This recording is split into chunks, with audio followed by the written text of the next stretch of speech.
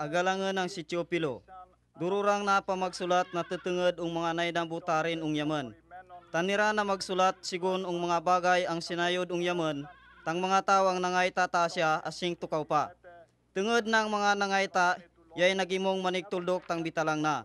Ig ang tanan ang na, napagadalan raka tamuya tano pa siya pa. Animan para masigurwa, nang matud ka kaman tang mga bagay ang sinuldok unyo.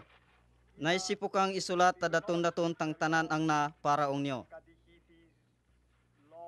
Asing si Herodes pakanay tang adi tang Hudya, may tatang pading Hudyo ang ngarana si Sakarias.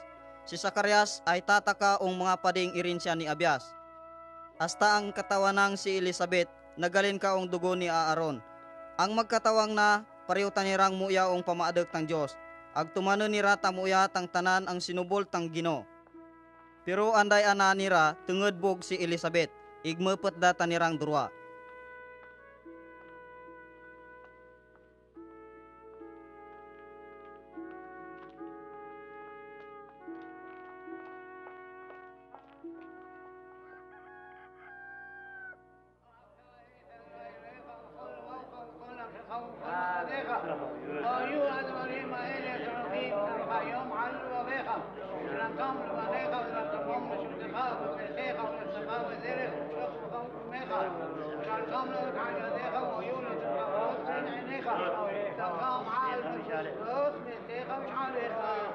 فيش طبعا يا بابا يا فيش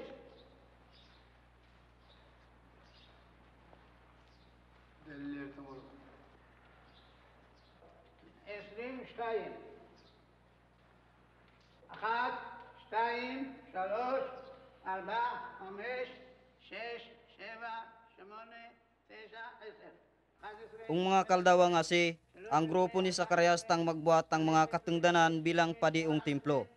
Ig si Sakarias tang napilik ang magsirok tang insinso, animan si Minlod tanan doon ung tulod tang templo tang Ginoo.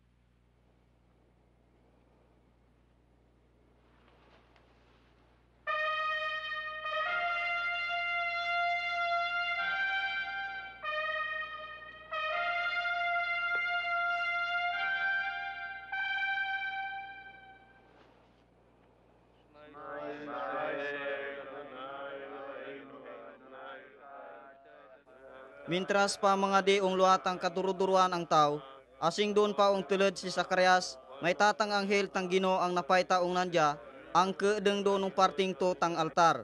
Nakibot si Sakarias ig inuldan, pero ganing tang anghel. Indya mo lal sa karyas, binasitang Diyos tang pangadi mo, magkatinira taan mong lali, tengen mga natang katawa mong si Elizabeth, igparanan mo tahuan, malipaya ig ambengan tamuya tenged ung nandya, igyadi kang maglipay ang tanandya ipinangana. Tengen magimong alawig ung pamaadeg tang Gino, hindi manginem tabino igmas kuno pang irinemen ang pamalang. Ung siyan palamang tanandya tang nanay na, gamandang lagi tang Espiritu Santo, durong mga inampu ni Israel ang pabalik na ung ampuan tang Diyos. Tungkaw tanandya ung Gino, igmagimong mapirsa pariutang propitang si Elias asing tukaw. Paguruli ko na tang mga nalanggang nem tang mga tatay ong mga ananira, Tulukan na tang mo yang kinaisipan tang mga tao ang hindi pa magtuman tang mga tubol tang Diyos agon magimong matulid tanira. Agod simpan datang mga tao ang pagkabutang Gino. Muno pa yo masiguradong atan? Tungod yamit ng katao ay mga mapetda? Yo si Gabriel, pagsirbyo ang talungan tang Diyos, sinubulo para yatid tang muyang balitang inaningura ung niyo. Tandaan mo, mabuyo na man dyan, tungod indya pagparet ung yun ang bitala. Injara mabitala hasta hindi may nabutang mga bagay ang na, pero may nabuungad pagkabutang oras.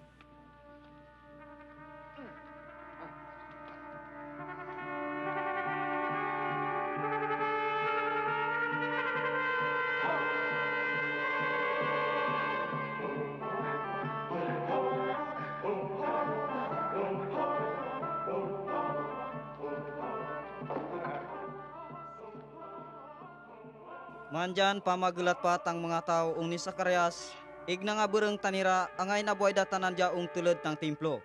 Pagluana indira tanandya mabitala, mga sinyas dalamang tang agamitena ung nira. Anima naisip nirang may napaita siguro ung nandya dunong tulad tang templo.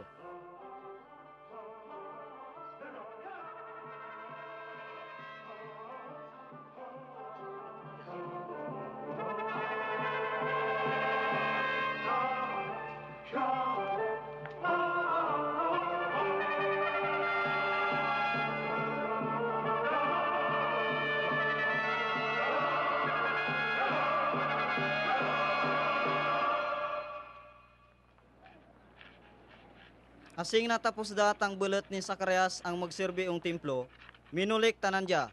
Hindi na buhay nagabdet datang katawanang si Elizabeth, ig hindi na luwa ung balay ung tulad talimang bulan. Ganing si Elizabeth. Ay, natubek da ung yun tang Gino. Nakumit da tang kaya kanu ung talungan tang mga tao.